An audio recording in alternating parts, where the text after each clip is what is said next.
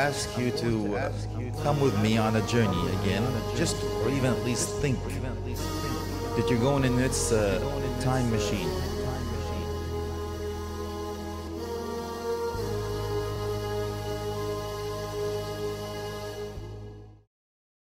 بسم الله الرحمن الرحيم الحمد لله رب العالمين والصلاة والسلام على سيد المرسلين مولانا محمد وعلى آله وأصحابه ومن تبعهم بإحسان إلى يوم الدين أما بعد Brothers, sisters, respected guests, Assalamu alaikum wa rahmatullah.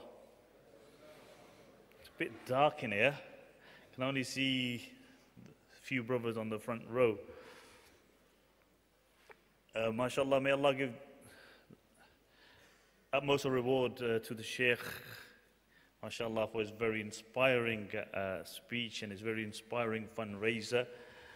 But following on from that, we need to ensure that the pledges that we have made, we honor them. It's very important. Often what happens is that, you know, we make the pledge, but later on we get home and you realize that money that you pledged was for the sofa set which you promised your wife and the near changes. So inshallah we need to make sure that we honor that pledge. The sheikh uh, mentioned something which is uh, he mentioned about three things that we need to recognize and i want to speak about three things. We should preoccupy the minds of every single human being. One, where did you come from? Second, what are you doing here? And third, where are you destined for? And Allah subhanahu wa ta'ala, being the Khaliq and the Malik, knew that these questions should preoccupy man's mind. So He mentions all of them in the Quran. Regarding where you came from, Allah mentions in many places. But one verse Allah mentions هل أتى على الإنسان حين من الدهر لم يكن شيئا مذكورا Was there not a time upon man that there was no dhikr of him, that there was no mention of him, he did not exist? Then Allah subhanahu wa ta'ala created man min nutfatin amshajin, that Allah subhanahu wa ta'ala created man from a mingled piece of sperm. Regarding what we're doing on this dunya, Allah subhanahu wa ta'ala mentions, وَمَا خَلَقْتُ الْجِنَّ وَالْإِنسَ إِلَّا لِيَعْبُدُونَ That I have not created man and jinn, but for one reason, and that is servitude to Allah subhanahu wa ta'ala. And thirdly, where is man destined to? Allah mentions that in the Quran in many places. ثُمَّ إِلَيَّ مَرْجِعُكُمْ Unto me you shall return and I will tell you about the actions that you did in this dunya. But if we look around us in this society, you will see many people dissipate their existence without ever thinking about their purpose in life. Why? Because they are engaged in the now. The now. The dunya they are more interested in the high heels and the low heels, the baggies and the tights, the iPhones and the iPads, the X5s and the houses in Solihull. And Allah subhanahu wa ta'ala speaks about the now in the Quran. He said, وَمَا الْحَيَاةُ الدُّنْيَا إِلَّا مَتَاعُ الْغُرُورِ He said, the life of the dunya is nothing besides goods of deception. He says, that now is a life of deception. And I'll give you an example of this. You know, you guys have all had dreams. You have dreams. One night you're sleeping and you have this dream that you have a beautiful house in Solihull. You look out the window and you see your Ferrari. You look behind you and you have this beautiful wife or beautiful husband with impeccable character. And then you wake up in the morning and you walk towards your window and you open the curtains and you look outside and you realize you're still living on Coventry Road. you look down and you see your micra. And then in the background, you hear your wife saying, Oh, Zalma! Oh, you Zalim! Then you realize, وَمَا الْحَيَاةُ الدُّنْيَا إِلَّا مَتَاعُ الْغُرُورِ That that dream was a deception. it was a delusion.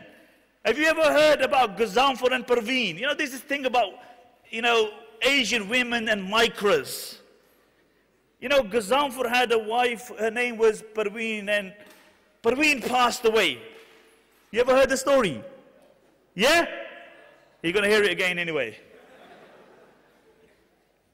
And Parveen passed away, so he wanted to write obituary. So he went to his local newspaper and he said, You know, I want to write obituary, but I've only got 10 pounds.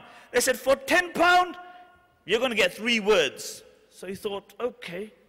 So he said, Okay, write down, Parveen is dead. Now the guy felt sorry for him. You know, he said, maybe he wants to write, My beloved Parveen is dead or something. So he said, Okay, I'll give you three extra words free. He said, Yeah. He said, Yeah. He said, Okay, write down, Parveen is dead, micra for sale. so you have the now. وَمَا الْحَيَاةُ الدُّنْيَا إِلَّا مَتَاعُ الْغُرُورِ And really people are in this deception. They dissipate, they go through their entire life without realizing that they have a purpose. And this is why Ali radiallahu anhu said, he said, people are sleeping. Only when they die will their eyes really open. Man believes he's awake, but only when he dies he will realize that he lived a life of delusion. And it was for this that the Anbiya alayhi salatu wasalam came to this dunya. They came to wake up people. They came to call people. When Allah mentioned to the Prophet sallallahu he said, "Qul." He said, "O Messenger of Allah, say, "Qul هذه sabili ad'u ila Allah." He said, "This is my path. I call unto Allah subhanahu wa taala ala basiratin upon manifest truth. Ana wa man ittaba'ani me and those who follow me, we call towards Allah subhanahu wa ta'ala. And Ibn al-Qayyim al-Jawzi rahimahullah mentioned something very profound here.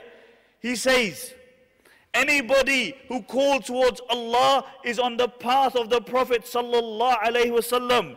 And anybody who calls towards anything else other than Allah subhanahu wa ta'ala is not on the path of the Prophet sallallahu alaihi wasallam. And then he goes further.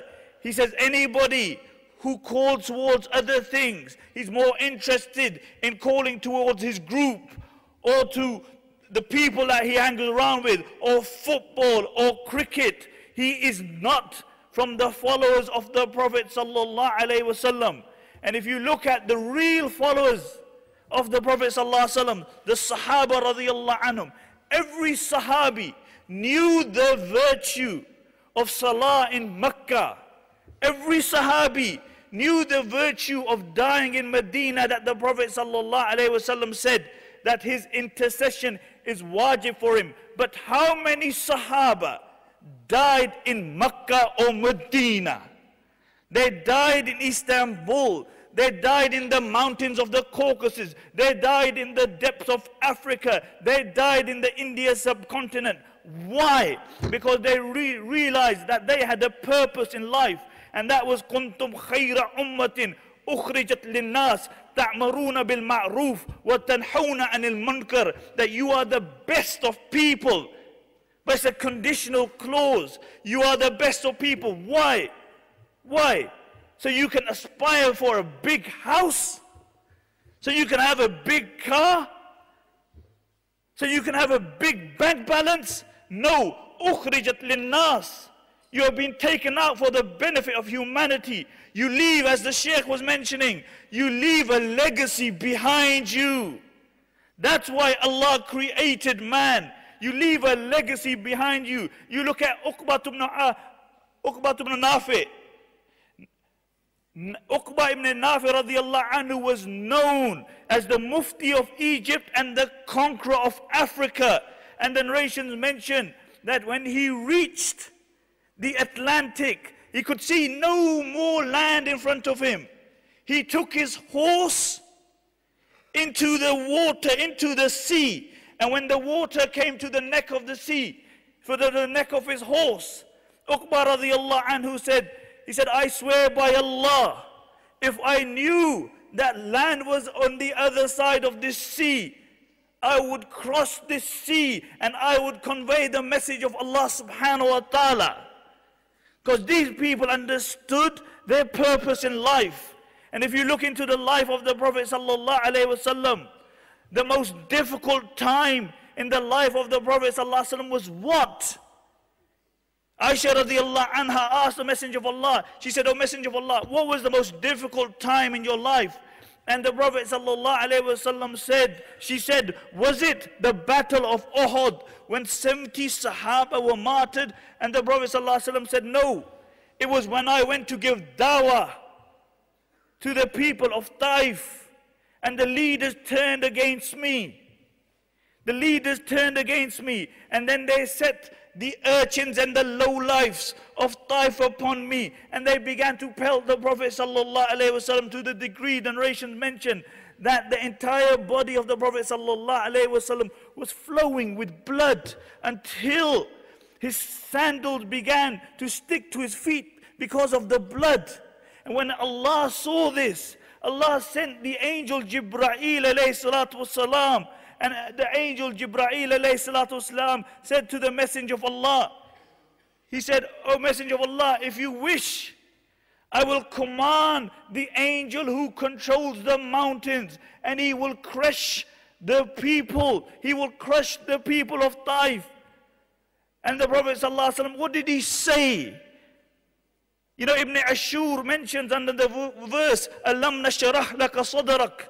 Did we not expand your heart? Did we not expand your chest? You know, like we say in the English language, we say, bro, you got a big heart. He said that was the meaning of that verse. That for the sake of dawah, people would pelt the Prophet ﷺ with stones. They would insult him, but he would take it because he wanted them to call them towards Allah subhanahu wa ta'ala. There was occasion when a Bedouin came to the Messenger of Sallallahu Alaihi Wasallam and the Bedouin said to the Messenger of Allah, give me something. And the Prophet ﷺ gave him. And then the Messenger of Allah ﷺ said, have we been good to you? And he said, you haven't. And the Sahaba saw this, that this man came to ask the Messenger of Allah, he gave in, and then he turns around and says, you haven't been good to me. And the Sahaba jumped up and they wanted to deal with him. And the Messenger of Allah sallallahu said, calm down. And then he went home and he called the Bedouin and he said, you came to me and I gave you. And then you insult me. And he said, oh Messenger of Allah, you were really good to me. And the Messenger of Allah sallallahu said, he said, you know, now my companions have something in their heart for you. Go and apologize in front of them. And he went in front of the companions and he apologized. And then the Messenger of Allah wasallam said, said, My example and the examples of this Bedouin is like a person who has a camel and the camel runs away and the people run after it. And the more they run after it, the further it runs away. Until the owner says, I know my camel better than they do. I am more gentle upon my camel. And then he goes towards the camel and he tells the others to go away. And then he calls the camel and the camel comes to him. And he ties the camel and he takes the camel. He said, This is my example and the Bedouin's example. If I had listened to what you had wanted after he said what he said, then he would have entered the fire of Jahannam. So the angels uh, said, If you wish, O Messenger of Allah, I will tell the angel who controls the mountains to crush the people of Taif. And the Prophet ﷺ declined the offer. And then what did the Messenger of Allah say? And this is subhanAllah, and this is exactly what this conference is for. He said, maybe somebody from their progeny will embrace Islam. And then he said, Allahumma inni ashku ilayka dha'fa quwwati wa qillata hilati wa hawani ala nas ya arhamar rahimin. He said, Oh Allah, I complained to you about what? Who is this? This was the messenger of Allah, the greatest of dies. He said, Oh messenger of Allah, oh Allah, I complained to you about my own weakness. and the lack of my ingenuity and my insignificance in the eyes of people. Do we ever think about dawah in this manner? We think we're going to put a couple of tables and the people should all flock towards Islam. Where's the, where, where's the reflection? Where's the thinking of how to give the dawah?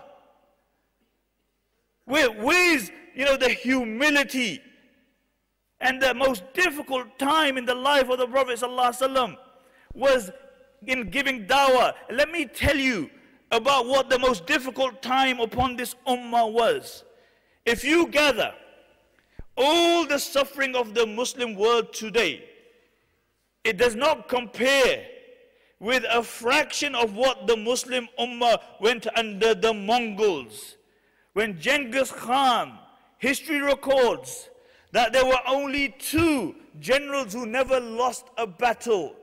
One was Genghis Khan and the other was Khalid bin Walid radiallahu anhu, the sword of Allah.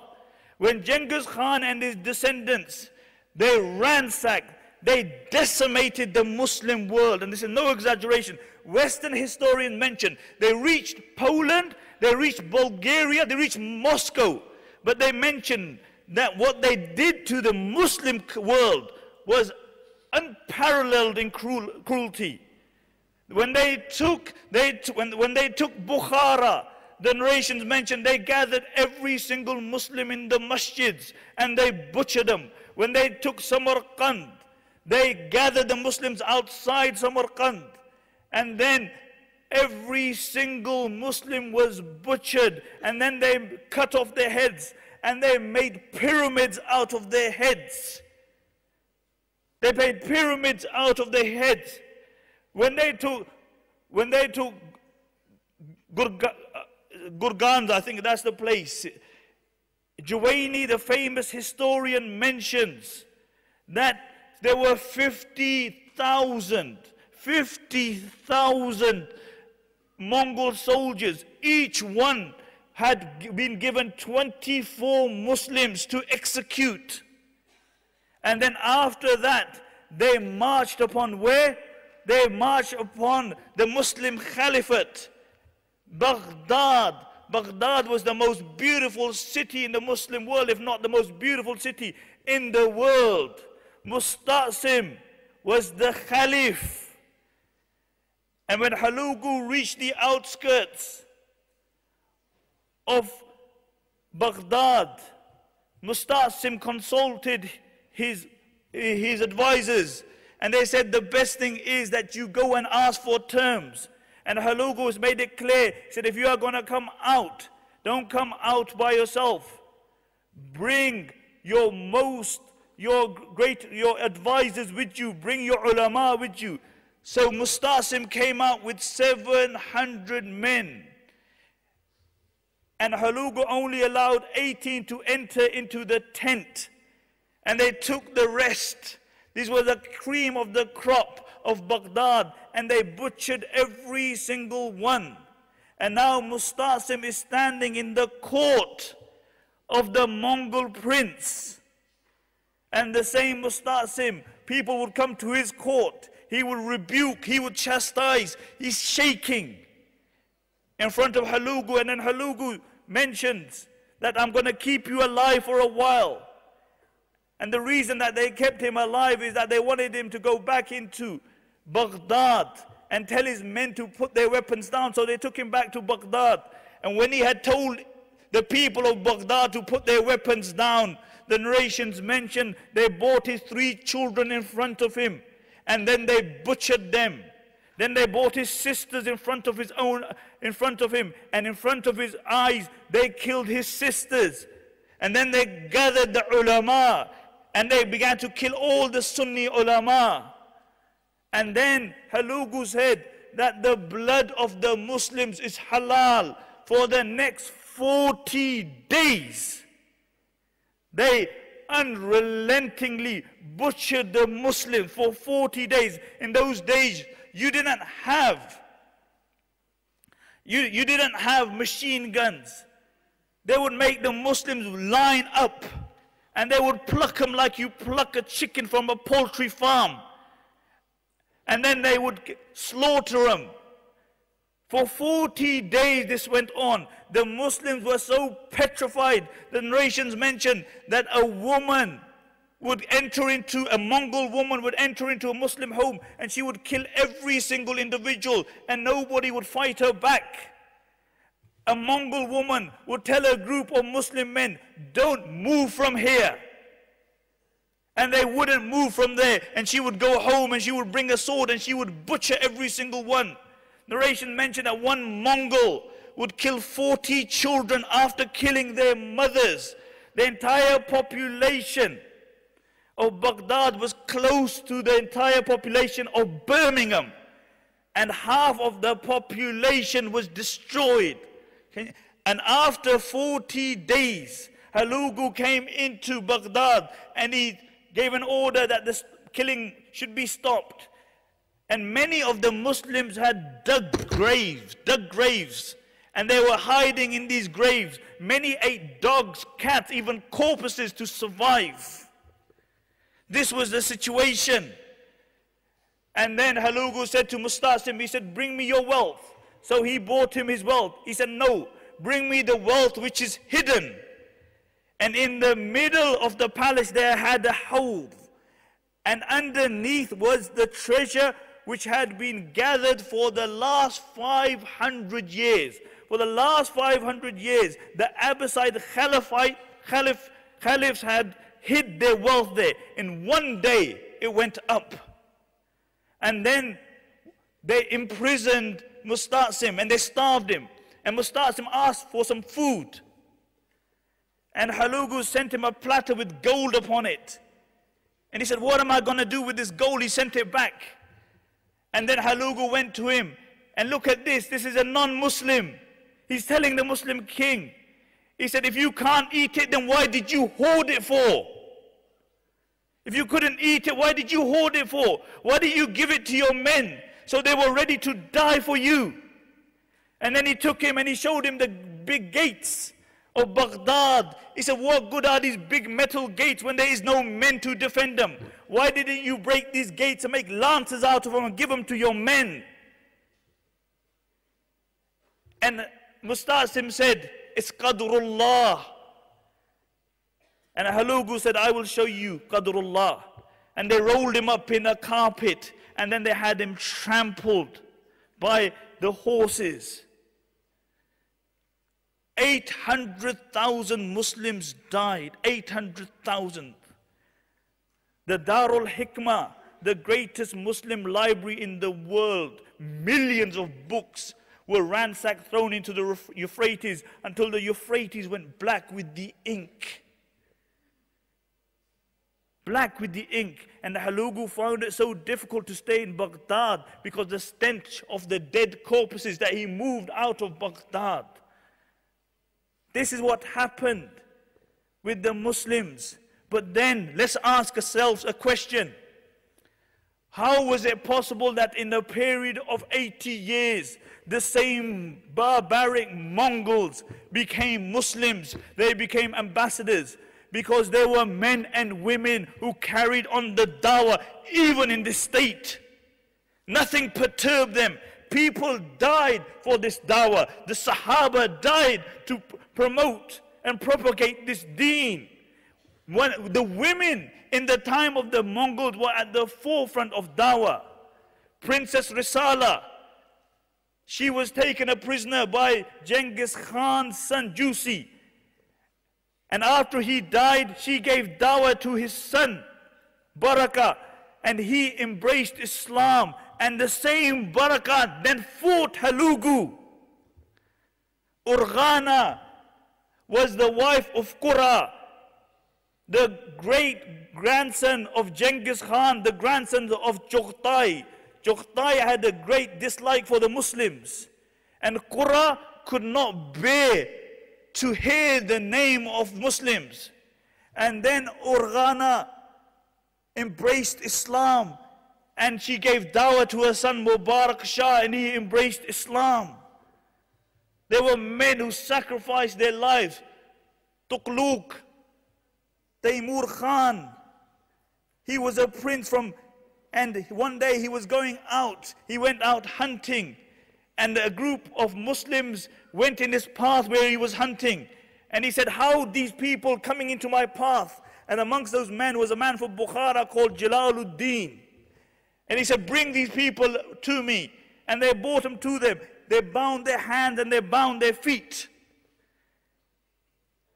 And then Tuqluq said to Sheikh Jalaluddin, he said, How dare you come in my path? And Sheikh Jalaluddin said, We're only travelers, we didn't know. And then Tuqluq said to Sheikh Jalaluddin, This is how they regarded the Muslims. He pointed to his dog.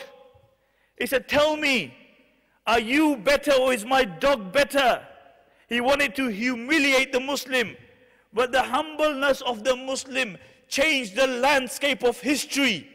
He said, Are you better or is my dog better? And Sheikh Jalaluddin looked at the dog and he said, If Allah forgives me, then I am better than your dog. But if Allah doesn't forgive me, then your dog is better than me.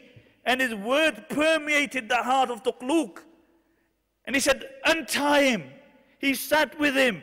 He gave him dawah with zeal, with sincerity, until Tuqluq said, You know, I agree with everything you say, but I can't embrace this religion now because I am gonna be, I am gonna take the throne soon. When I take the throne, come back to me.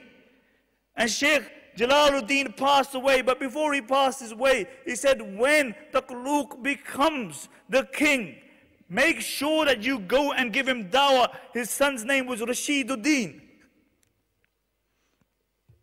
And when he became the king, Rashiduddin went to Tuqluq, but he couldn't get an audience with him. So what he did one day, he stood by his window and he began to give the adhan. And Tuqluq was enraged. How could anybody wake him up in the middle of the night? And he said, Bring this man to me. And when they brought him to him, and he reminded him about his promise to his dad. And Tuqluq said, I swear by Allah, since that day I have taken the throne, I have been waiting for Sheikh Jalaluddin. But nobody came to me. And then Tuqluq embraced Islam. And on that day, from the windows of the palace, you heard the adhan being given. And the entire his entire kingdom embraced Islam. Why? Because these people had a concern. They had a concern. And this is why the Prophet ﷺ said in the narration related by Ibn Majah that Allah subhanahu wa ta'ala inculcates in this ummah secret soldiers. Secret soldiers. And they propagate this deen until the day of judgment. And this is what we need. We need people who have a concern. We have a, if out of this conference we have a person who has a fraction of the concern of the Prophet ﷺ emanate, who has a concern like Risala Urghana, Sheikh Jalaluddin, Ahmad al-Sarhindi. Look at Sheikh Ahmad al-Sarhindi, subhanallah. Look at his dawah which he gave to Akbar. Akbar had changed religion, changed Islam totally. What we don't need is a Pauline kind of Christian Islam. You know, where you accept, for the sake of dawah, you accept everything. Whatever they say. You know, Paul, Paul was a guy who, who because he gave dawah to the Gentiles, he believed that he couldn't bring the Judaic laws into it. So he just made, he gave him dawah towards Allah, but that was it. Nothing else. And we, this is something that we don't need. We need people who give dawah, who understand their deen, and who are firm on their values. Akbar was a man, subhanallah. Akbar was a Mughal king who was in India, and what happened is that he started his own religion, which was called Deen Ilahi. And in this deen, and you will see throughout history, those who have done the greatest damage to Muslims have been those enemies within. He made pork halal, he made wine halal, he made gambling halal. But it was haram in his kingdom to slaughter a cow. Parda was haram. The beard was haram. You had to do sajda to him when you went into his court. You had to do sajda to him. He abrogated salah. He abrogated hajj. He abrogated zakah. And his salam was not assalamu alaikum wa alaikum salam. It was you would have to say la ilaha illallah and the other person would say Allahu Akbar because he had Akbar's name in it. This was his deen. And he persecuted the Muslims. And then Allah created one man after his death when his son Jahangir, he was on the throne. A man called Sheikh Ahmad al-Sirhindi rahimahullah. And he was giving dawah and Jahangir heard about dawah and he called him to his palace. And when he entered into his palace, he said, do sajda. He said, I only do sajda for Allah. And Jahangir became enraged. And he said, do sajda, otherwise I will imprison you. He said, you see this forehead? It only touches the floor for the sake of Allah. And he imprisoned him. And whilst he imprisoned him, like Yusuf والسلام, was imprisoned for the haqq, and he gave dawah towards Allah. The narration mentioned thousands of people embraced Islam on the hands of Sheikh Ahmad. Thousands of people. Until Jahangir became impressed. and then he called him to his court again. And again he refused to do sajda to him. But Jahangir saw that this man was different. He wasn't like the other scholars. He stood to his principles. He believed. He was firm in his belief. And he said, Stay around with me. And for the next three and a half years, Sheikh Ahmad al-Sirhindi remained with Jahangir. And he changed the religious landscape of India. Men who were ready to do the dawah. And I say to you, you know, there are many people really out there who are good people. They need, they're, they're waiting for the dawah. And may Allah reward the brothers of iERA, no exaggeration. You know, they've bought something novel and they need the support, bringing people towards from eternal doom to eternal success. What could be greater than this? Many of them are good people out there. And this reminds me, you know, of the narration of Abu Talha when he proposed to Umm Salma and Umm Salma said, she said, Wallahi, mithluka ya Abu Talha la turad. She said, Abu Talha, the likes of you should not be refused. You know, when you propose, you shouldn't be refused. But there's one thing I'm a Muslim and you're a kafir. If you embrace Islam, then your dowry for me is your Islam. Is your Islam. And he embraced Islam and his dowry for Umm Salma was his Islam. But she saw the good character in Abu Talha. And wallahi, what a Mubarak wedding. I swear, I don't have time. What a Mubarak wedding. It was regarding these two that Allah revealed the verses. يُؤْثِرُونَ عَلَىٰ أَنفُسِهِمْ وَلَوْ كَانَ بِهِمْ خَصَاصًا He was the man who acted upon the verse لَن تَلَارُوا بِرَّ حَتَّى تُنْفِقُوا مِمَّا تُحِبُّونَ and many, many other amazing incidents in his life. So I come back and I finish off here, back. I come back and I finish off here, you know, the importance of the dawah. And if we look into the life of the greatest man to walk on the face of this earth after the Anbiya wasalam, Abu Bakr radiallahu anhu. Can you imagine Abu Bakr on the day of judgment coming in front of Allah?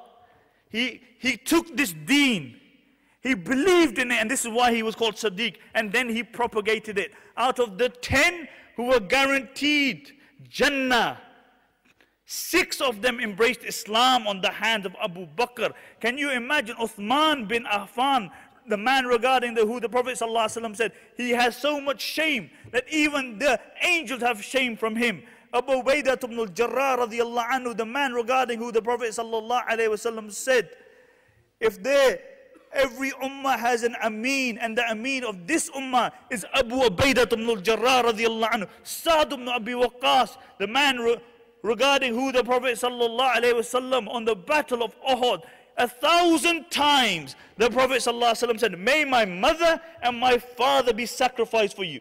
May my mother and my father be sacrificed. Can you imagine? And, and, and a handful of others.